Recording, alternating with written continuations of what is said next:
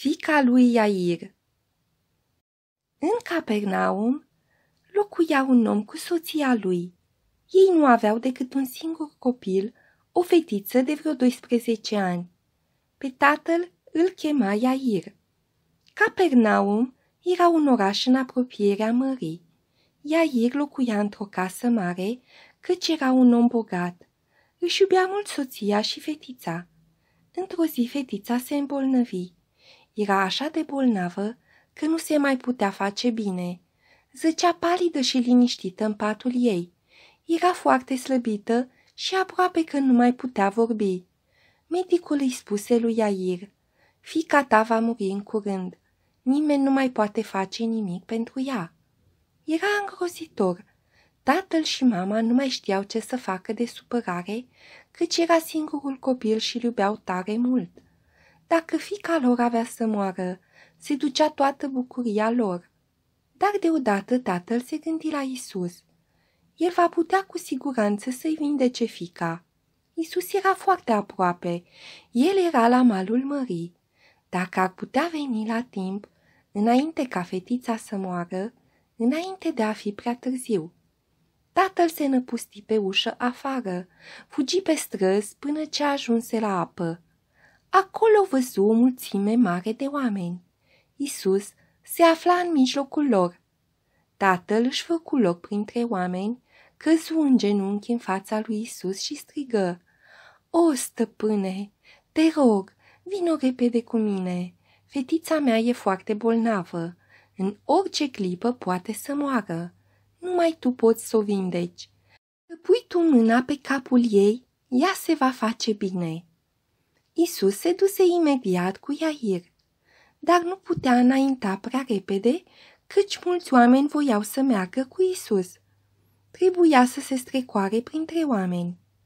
Astfel făcură mult timp până ce ajunseră în oraș. Acolo o femeie, care era de mult timp bolnavă, se apropie de Isus și ea voia să fie vindecată. Isus mai vorbi cu ea puțin și aceasta mai dură. O, se gândea Iair, de nu am ajunge prea târziu. Dar era deja prea târziu.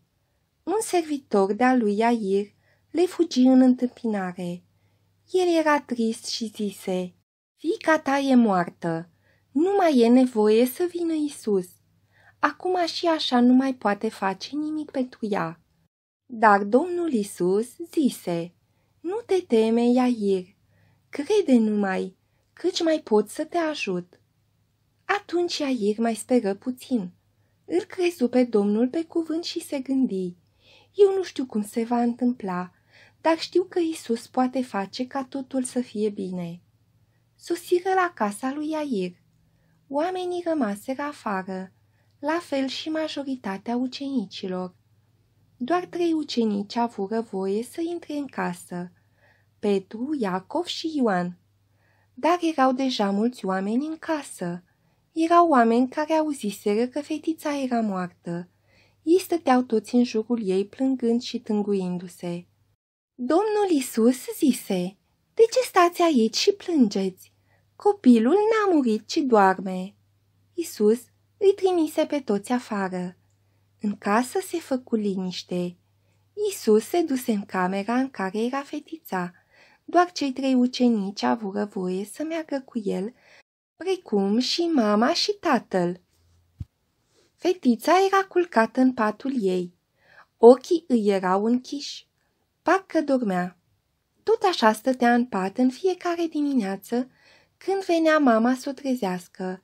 Mama ei îi spunea, Fetițo, scoală-te! Atunci ea deschidea ochii. Dar acum era moartă. Nu mai respira, inima ei nu mai bătea. Acum nu mai auzea când o strigă mama ei. Și totuși, când o strigă Isus, fetița auzi imediat. Isus o luă de mână și îi zise prietenos, Fetițo, îți spun să te scoli. Și iată că îi se deschiseră ochii. Inima începu iarăși să-i bată. Fetița se sculă și se duse spre mama ei, aruncându-se în brațele ei. Nu mai era moartă, nu mai era nici bolnavă. căci Isus o făcuse iarăși bine. Domnul Isus o vindecase pe deplin. Mama se grăbi să ajungă la fica ei și o luă în brațe.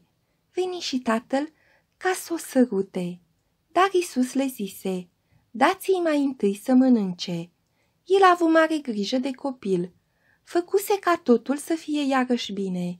Chiar și tu, când ai un necaz mare, Isus poate să facă ca totul să fie iarăși bine.